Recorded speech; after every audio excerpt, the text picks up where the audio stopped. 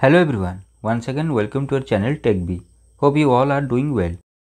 Today we will discuss about total marks, marks secured and percentage of marks in BTech or MTech or any degree that comes under BPUT. This question is always asked during form fill up of many government exams. So many students ask me about this. So this video is made to clear all the doubts about the marks in BPUT. So watch the video till end so that you will able to answer all the questions.